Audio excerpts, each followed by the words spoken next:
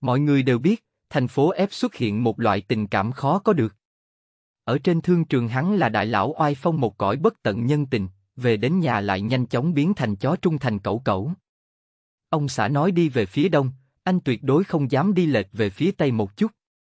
Ngạo Kiều cố chấp đại lão điên cuồng trêu chọc, nhu thuận thiếu gia nên đi nơi nào. Mặt Lâm ngoài ý muốn gặp gỡ một vị nam mỹ nhân tuấn tú hiếm có, sau khi xác định mình ái mộ mỹ nhân, Mặt Lâm liền bắt đầu con đường theo đuổi vợ dài đằng đẵng. Câu hỏi trực tuyến. Người đẹp không thích mình thì làm sao bây giờ?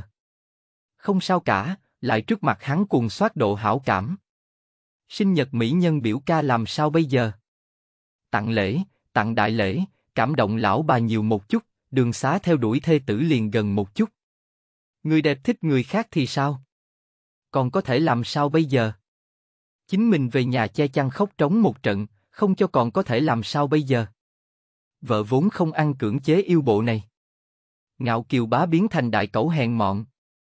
Chương 1 van cầu ngươi, buông tha ta.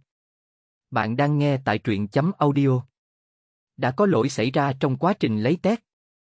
Chương 2 Yến Trăng Bạn đang nghe tại truyện chấm audio. Đã có lỗi xảy ra trong quá trình lấy test. Chương 3 Sở Linh, ta nhớ ngươi lắm.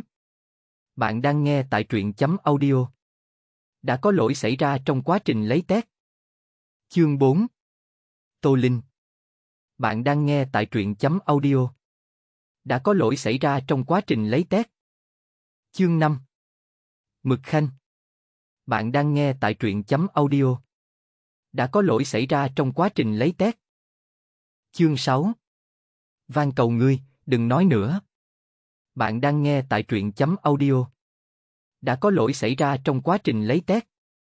Chương 7 Tô Thụy Bạn đang nghe tại truyện chấm audio. Đã có lỗi xảy ra trong quá trình lấy test. Chương 8 Điên rồ Bạn đang nghe tại truyện chấm audio. Đã có lỗi xảy ra trong quá trình lấy test.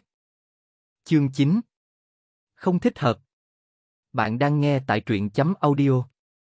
Đã có lỗi xảy ra trong quá trình lấy test. Chương 10 Tô Lạc Bạn đang nghe tại truyện chấm audio.